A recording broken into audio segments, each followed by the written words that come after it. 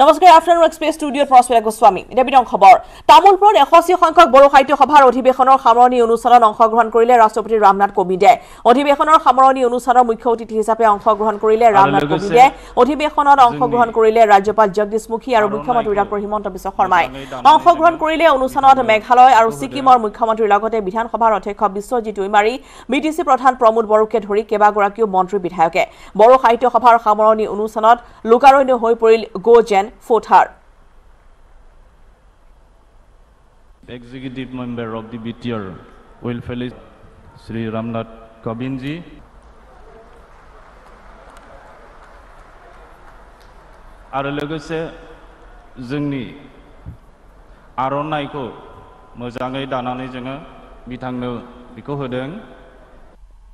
मुझे बताया गया है कि असम में लगभग 35 लाख लोग बोडो भाषा बोलते हैं असम के अलावा बोडो भाषा बोलने वाले लोग पश्चिम बंगाल, मेघालय, अरुणाचल प्रदेश, सिक्किम, नागालैंड और त्रिपुरा और यहाँ तक कि बांग्लादेश और नेपाल में भी निवास करते हैं। अब ये साहित्य और भाषा हमेशा लोगों को जोड़ती है, लोगों के दिलों को जोड़ती है। और वो ऐसी कौन सी बातें हैं भाषा में होती हैं जो अपनापन होता है, और वो अपनापन आज न जाने हमारे समकक्ष जो प्रदेश जिनका मैंने नाम लिया, पश्चिम बंगाल, मेघालय, अरुणाचल, सिक्किम, नागालैंड, त्रिपुरा, और विदेशों से, बांग्लादेश और नेपाल से भी यहाँ पर कुछ प्रतिनिधिगण आए हैं। ये कितना आकर्षण है। जो कि भाषा, बोडो भाषा विदेशों से भी लोग को लोगों को यहाँ पर खींच लाई है। और इसलिए मैं साहित्य सभा के आयोजनों को मैं बार बार सराहना करता हूँ और उनको बधाई देता हूँ।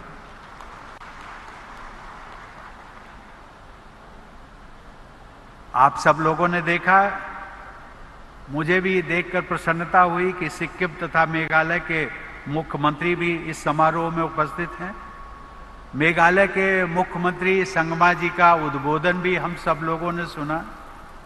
और सिक्किम के मुख्यमंत्री प्रेम सिंह तमांग जी से मैं पूछ रहा था कि आप क्यों नहीं बोल रहे हैं?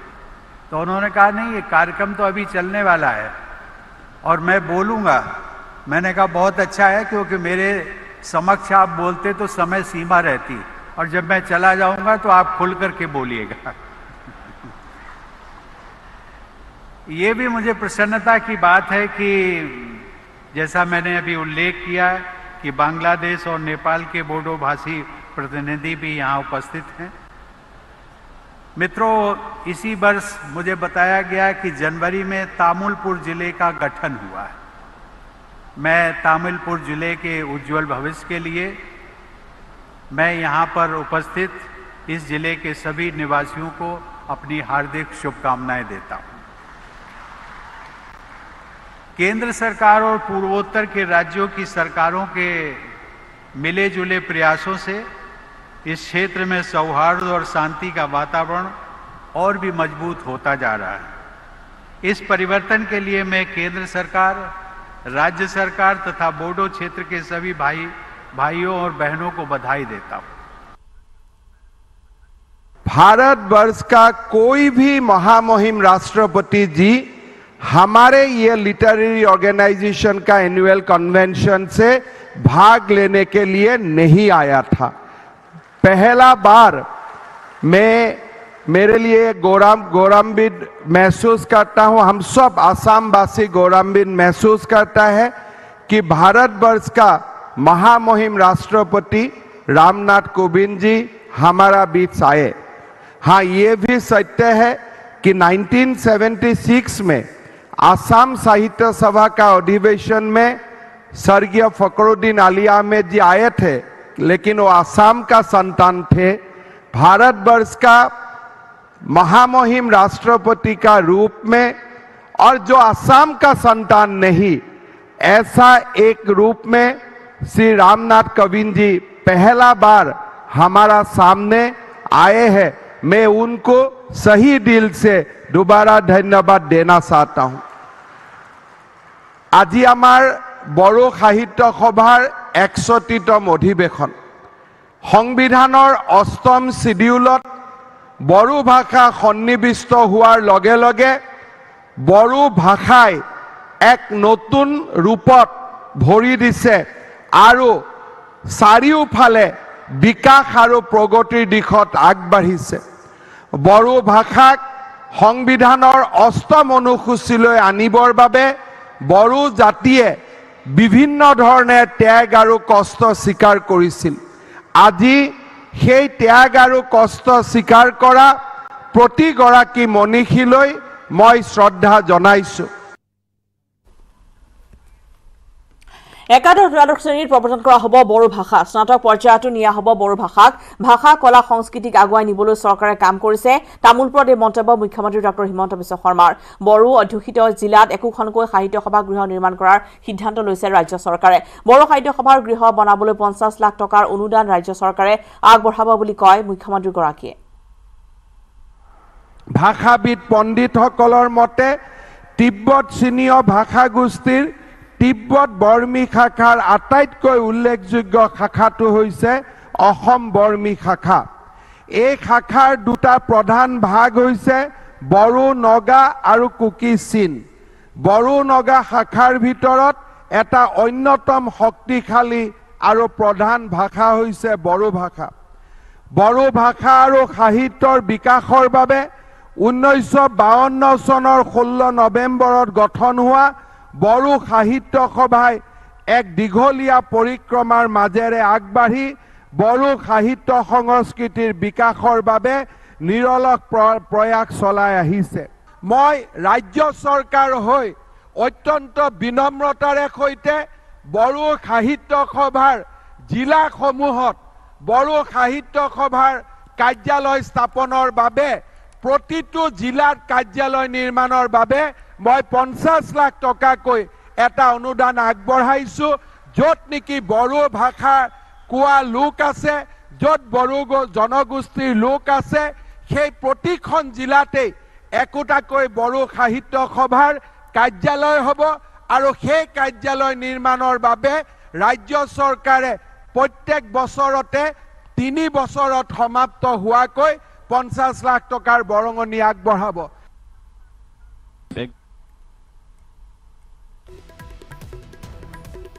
আৰু কাজিৰঙাত শীঘ্ৰে নিৰ্মাণ হোৱা বাইছ কিলোমিটাৰ দৈৰ্ঘ্যৰ এলিভেটেড কৰিডৰ কাজিৰঙা ৰাষ্ট্ৰীয় উদ্যানৰ বাবে বিশেষ উপহাৰ ৰাষ্ট্ৰপতি ৰামনাথ কোবিন্দৰ। কাজিৰঙা ভ্ৰমণ কৰিয়েই নীতিন গাডকাৰীক এই প্ৰস্তাৱ দিছিল ৰাষ্ট্ৰপতিয়ে।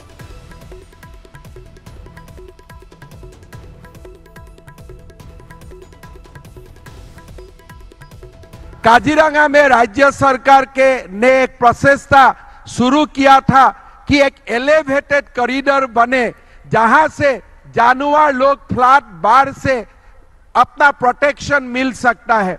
राष्ट्रपति जी एक रात काजीरंगा में रुका और राष्ट्रपति जी जाके नितिन गडकरी जी को बोला कि एलिवेटेड कॉरिडोर काजीरंगा में होने से अच्छा है।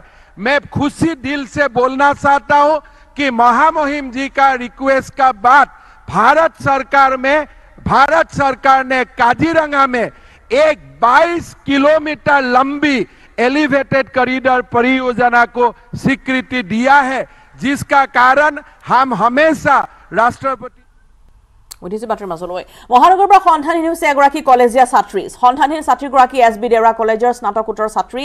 ছাত্ৰীগৰাকীৰ নাম হৈছে পাৰবিন আহমেদ। নিৰ্দিষ্ট ছাত্ৰীগৰাকীৰ ঘৰ হৈছে গুৱাহাটীৰ লাখটকীয়াত ত্ৰিছ এপ্ৰিলত কলেজলৈ ওলাই গৈছিল ছাত্ৰীগৰাকী। ছাত্ৰীগৰাকীয়ে মাতৃক অন্তিমটো কৰিছিল ফোন। তাৰ পিছৰ পৰা কোনো ধৰণৰ সন্ধান পোৱা নাই ছাত্ৰীগৰাকীৰ। ঘটনা সন্দৰ্ভত পৰিয়ালে ইতিমধ্যে পাণবজাৰ থানাত দাখিল কৰিছে এজাহাৰ। ধন্যবাদ জনাইছো যে মহানগৰৰ পৰা সন্ধানহীন হৈছে এগৰাকী কলেজীয়া ছাত্ৰী। সন্ধানহীন ছাত্ৰীগৰাকী এছ বি দেউৰা কলেজৰ স্নাতকোত্তৰ ছাত্ৰী। ছাত্ৰীগৰাকীৰ নাম হৈছে পাৰবিন আহমেদ আৰু ফোন লাইনত আছে এই সন্দৰ্ভত অধিক জনাবলৈ আমাৰ সাংবাদিক হীৰক মালাকাৰ। হীৰক এগৰাকী ছাত্ৰী নিৰ্দিষ্ট হোৱাৰ ঘটনা খবৰ আহি পৰিছে। আপোনাৰ পৰা সবিশেষ জানিব বিচাৰিছো। হয় স্মিতা। মহানগৰী মহানগৰীত পুনৰ ছাত্ৰী সন্ধানহীন এটা ঘটনা আহি পৰিছে আৰু যিগৰাকী ছাত্ৰী ইতিমধ্যে সন্ধানহীন হৈ পৰি হৈ আছে। সেই ছাত্ৰীগৰাকী এছ বি দেউৰা কলেজত যিহেতু উলুবাৰীত যিখন কলেজ আছে S B S B Deorah college তাৰে স্নাতকোত্তৰ ছাত্ৰী আৰু ছাত্ৰীগৰাকীৰ নাম পাৰবিন আহমেদ বুলি এই মুহূৰ্তত জানিব পৰা গৈছে। আৰু যিহেতু লাখটকীয়া তেওঁলোকে বাস বসবাস কৰে যোৱা ত্ৰিশ এপ্ৰিলত তেওঁলোকে ত্ৰিশ এপ্ৰিলত ছাত্ৰীগৰাকী স্কুললৈ কলেজলৈ ওলাই গৈছিল। আৰু কলেজলৈ ওলাই যোৱাৰ পিছত সন্ধানহীন হৈ আছে। তেওঁ মোবাইল যিটো আছিলে সেই মোবাইল ফোনটো চুইচ অফ হৈ আছে বুলি জানিব পৰা গৈছে।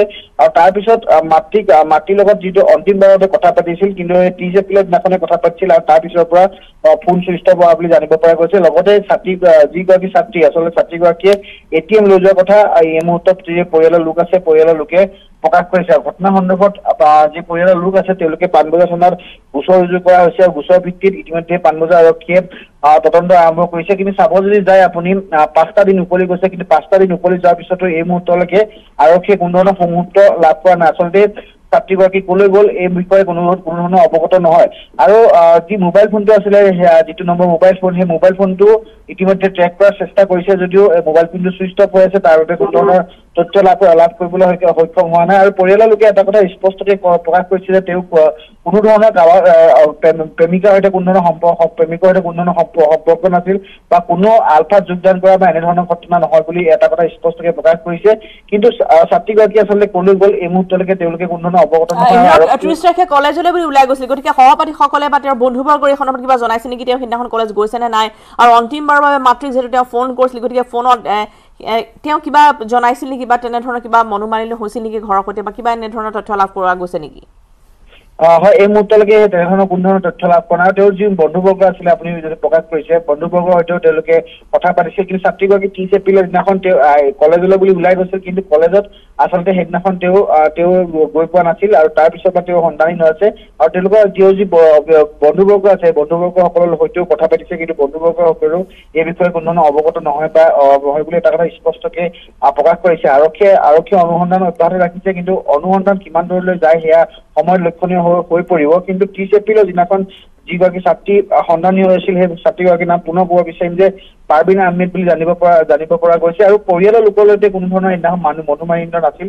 পৰিয়ালৰ লোকৰ সৈতে সেইদিনাখন ভালদৰে তেওঁ গৈছিল। পোৱাত যিহেতু তেওঁ ক্লাছ কৰিম বুলি ওলাই গৈছিল কলেজলৈ বুলি ওলাই গৈছিল আৰু তাৰে পিছৰ পৰা যিহেতু সন্ধানহীন হৈ আছে। আৰু পৰিয়ালৰ লোকে এটা কথা পুনৰবাৰ স্পষ্টকৈ কৈছে যে তেওঁ কোনো ধৰণৰ কোনো ধৰণৰ কাৰো সৈতে সংঘাত নাই বা কাৰো সৈতে তেওঁ আহ, মনোমালিন্য হোৱা নাই। কিন্তু ছাত্ৰীগৰাকী তাৰে কলেজ যোৱাৰ পিছৰ পৰা অন্তিমবাৰলৈ ফোন কৰিছিল আৰু তাৰে পিছৰ পৰা মাটিক ফোন কৰাৰ পিছৰ পৰা অফ হৈ আছে।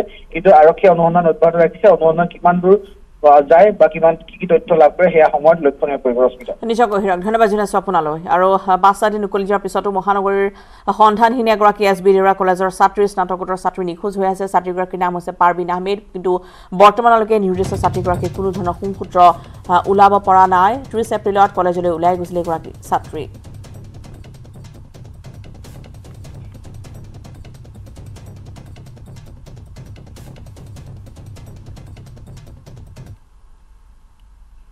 ফলে বিহালীৰ বেডেটিত অমানৱীয় হৃদয় বিদাৰ ঘটনা। চাৰিমহীয়া শিশুক অপহৰণ কৰি হত্যা।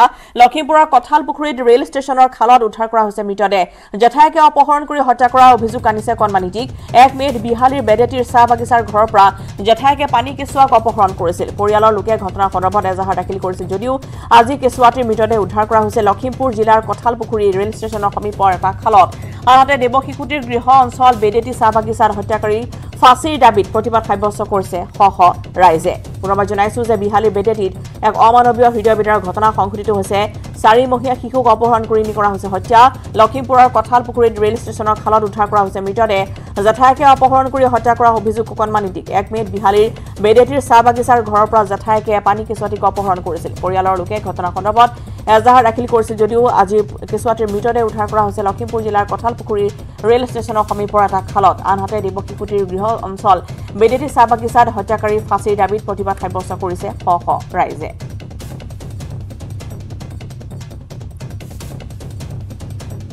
ইয়াত এগৰাকী সাধাৰণ শ্ৰমিকৰ এটা প্ৰথম সন্তান আছিলে ছোৱালী সন্তান। আৰু সেই ছোৱালী সন্তানক এগৰাকী মহিলাই ইয়াৰ পৰা অপহৰণ কৰি লৈ গ'ল। ইয়াত হাহাকাৰ সৃষ্টি হৈছিলে। আৰু বহুত পিছত বিচাৰ খোচাৰ কৰি মহিলাগৰাকীক আৰক্ষীয়ে আটক কৰিছিলে আৰু আটক কৰাৰ পিছত সেই মহিলাগৰাকীয়ে বিভিন্ন ধৰণৰ ফাঁকি ফুকা কথা দিছিলে আৰু শেষত গৈ এই মহিলাগৰাকীয়ে নিয়া এই ছোৱালী সন্তানটি লখিমপুৰ জিলাৰ কঁঠালপুখুৰী ষ্টেচনৰ সমীপৰ এটি পুখুৰীত মৃত অৱস্থাত উদ্ধাৰ হৈছে আৰু এই লৈ এতিয়া সমগ্ৰ বাগিচাখনতেই নহয় সমগ্ৰ বিহালীত এক চাঞ্চল্যৰ সৃষ্টি কৰিছে কাৰণ একেবাৰে কম বয়সে মাত্ৰ চাৰিমহীয়া এতিয়া দেৱশিশুক এনেধৰণে অপহৰণ কৰি হত্যা কৰা ঘটনা কাৰণে সকলো ৰাইজ ইয়াত ওলাই আহিছে আৰু ৰাইজৰ এটা প্ৰধান দাবী কাইলৈ মিনি দিছপুৰলৈ ৰূপান্তৰিত হ'ব কাজিৰঙা। সকলো মন্ত্ৰী বিধায়ক উপস্থিত থাকিব কাজিৰঙাত। মন্ত্ৰী বিধায়কৰ লগত বৈঠকত মিলিত হ'ব মুখ্যমন্ত্ৰী ডঃ হিমন্ত বিশ্ব শৰ্মা। মিত্ৰ দল AGP U P P L আৰু বি পি এফৰ বিধায়কসকলো উপস্থিত থাকিব এইখন বৈঠকত। হিমন্ত বিশ্ব শৰ্মা চৰকাৰৰ বৰ্ষপূৰ্তিৰ প্ৰাক্ষণত এই বৈঠকে বিশেষ তাৎপৰ্য বহন কৰিছে। বিধায়কসকলৰ পৰা সমষ্টি উন্নয়নৰ খতিয়ান ল'ব মুখ্যমন্ত্ৰী ডঃ শৰ্মাই। কাজিৰঙাৰ মাণ্ডু ৰিজৰ্টত এক সাংস্কৃতিক অনুষ্ঠানত অংশ ল'ব মুখ্যমন্ত্ৰীয়ে। শুকুৰবাৰে বৰগছ ৰিজৰ্টত মন্ত্ৰী বিধায়কৰ সৈতে বৈঠকত মিলিত হ'ব মুখ্যমন্ত্ৰীগৰাকী। মাণ্ডু ৰিজৰ্টত হ'বলগীয়া সাংস্কৃতিক অনুষ্ঠানৰ বাবে পূৰ্ণ গতিত অব্যাহত আছে। প্ৰস্তুতি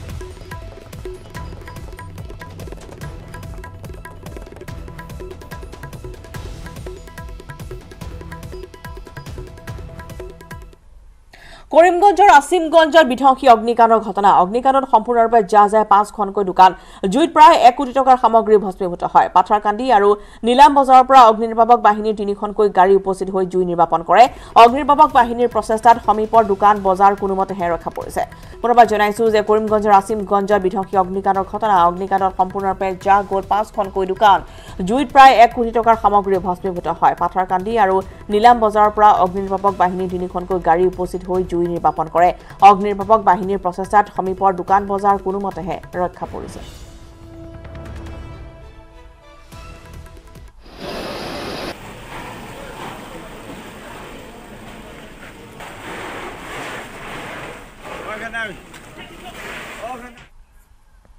মহানগৰীৰ গণেশগুৰি হেঙাৰবাৰী পথত মৃতদেহ উদ্ধাৰ। মৃত লোকজন চুইগিত কৰ্মৰত আছিল। পথত পৰি থকা অৱস্থাত স্থানীয় লোকে প্ৰত্যক্ষ কৰিছিল লোকজনক। পৰৱৰ্তী সময়ত লোকজনক চিকিৎসালয়লৈ নিয়ে যদিও মৃত ঘোষণা কৰিছে চিকিৎসকে। মৃত লোকজন মানিক নগৰৰ দীপাংকৰ বৰা বুলি চিনাক্ত কৰা হৈছে।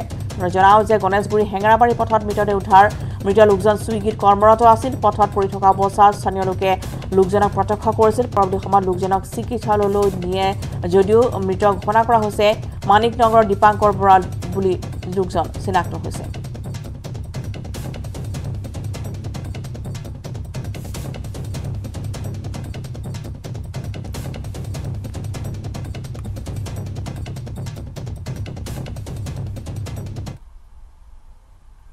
ইফালে মহানগৰীৰ কাহিলীপাৰাত ভয়ংকৰ দুৰ্ঘটনা। দেৱাল ভাঙি সৰ্বশিক্ষা অভিযানৰ কাৰ্যালয়ত সোমাল ডাম্পাৰ।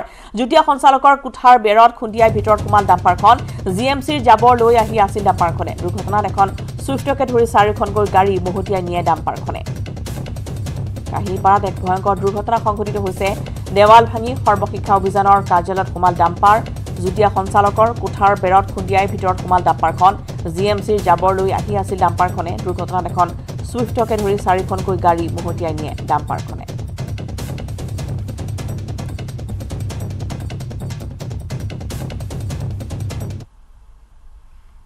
মহানগৰীৰ পানীখাইটিত ভয়াৱহ পথ দুৰ্ঘটনা। বলেৰ পিকআপ বাহন আৰু বাইকৰ মুখামুখি সংঘৰ্ষত দুৰ্ঘটনাত গুৰুতৰভাৱে আহত হয় ডাউন টাউন বিশ্ববিদ্যালয়ৰ এজন ছাত্ৰ। সংকটজনক অৱস্থাত ধনঞ্জয় গগৈ নামৰ ছাত্ৰজনক জি এম চি এইচত ভৰ্তি কৰোৱা হৈছে।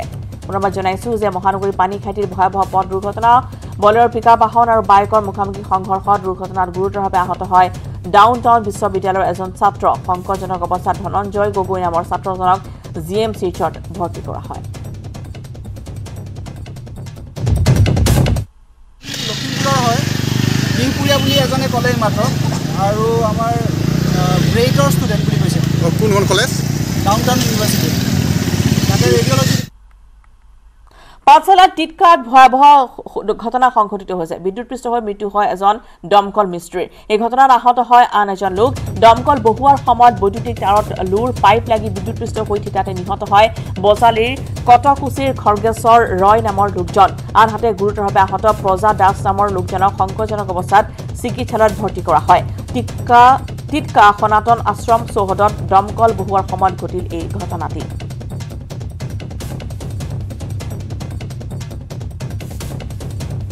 তাত আহি দুজনৰ কাৰেণ্টৰ স্পট কৰিলে আৰু লগে লগে মেডিকেল চৰকাৰী মেডিকেলত অনা হ'ল।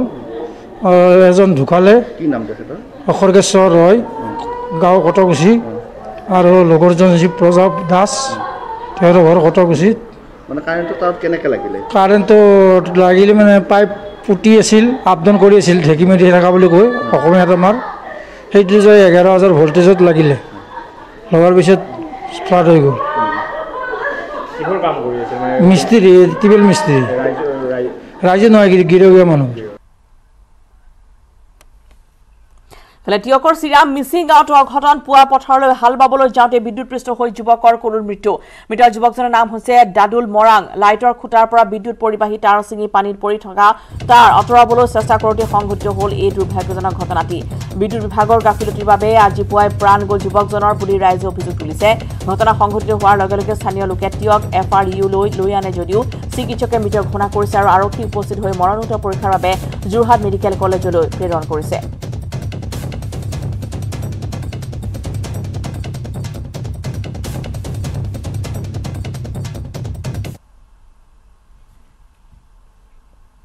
তেওঁৰ পথাৰৰ তাতে তাঁৰ এটা কাৰেণ্টৰ পোষ্টতে তাঁৰ এডাল ওলমি আছিলে। সেই তাঁৰডাল গুচাবলৈ যাওঁতে তেওঁ থিতাতে তেওঁ কাৰেণ্টৰ শ্বৰ্ট কৰি পেলাই তেওঁ মৃত্যুবৰণ কৰিলে। আৰু বৰ্তমান তেওঁক আমি তেওঁক মেডিকেললৈ লৈ আহিছিলোঁ। মেডিকেলতো তেওঁ ডক্টৰে ইতিমধ্যেই মৃত্যু বুলি ঘোষণা কৰিলে। খবৰ মিডিজা এক্সপ্ৰেছত সময় হৈছে বিৰতিৰ।